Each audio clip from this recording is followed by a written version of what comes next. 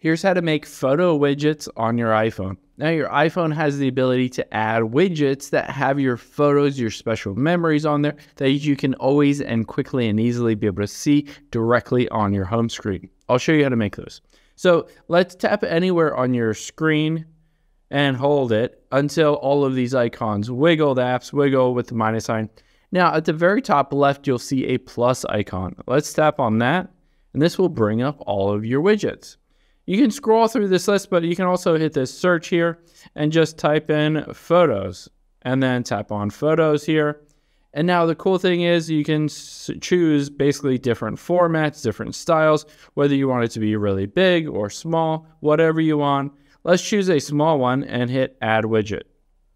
Now I can tap anywhere to get out of here and you can see that this will now show my photos. I can tap on it and it will show basically that memory in that photo.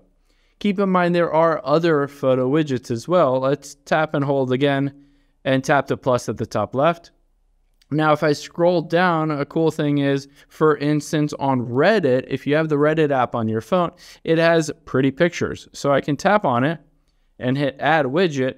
And now what it will do is, well, it's not really working right now because Reddit is having issues with the part, third party applications. But basically, normally what it will do is filter through and scroll through our pics or the subreddit pics and show you really cool images directly on the home screen on your phone.